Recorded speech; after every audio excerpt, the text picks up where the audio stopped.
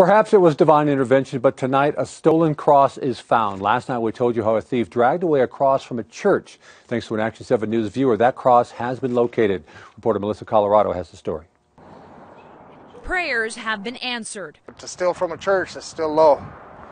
It's really low. On Saturday afternoon, a thief stooped to that level. Someone managed to haul off a steel cross from the New Life Church of God. A member of the congregation had personally crafted the cross and donated the sacred symbol to the church. Not just stealing from anybody, but stealing from God. I mean, come on.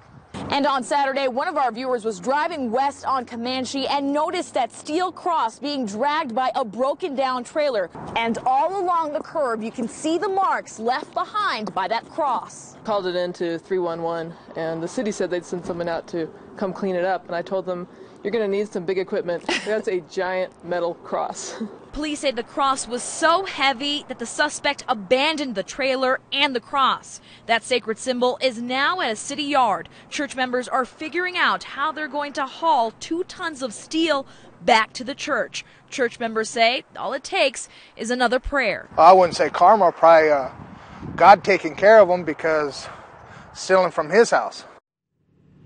Now, police tell us that broken down trailer that was seen dragging the cross is not stolen. Investigators right now trying to find out who that trailer belongs to so they can pinpoint the thief. We're live in Northeast Albuquerque. I'm Melissa Colorado, KOAT, Action 7 News. Church members say they plan on painting the cross and installing it inside the church.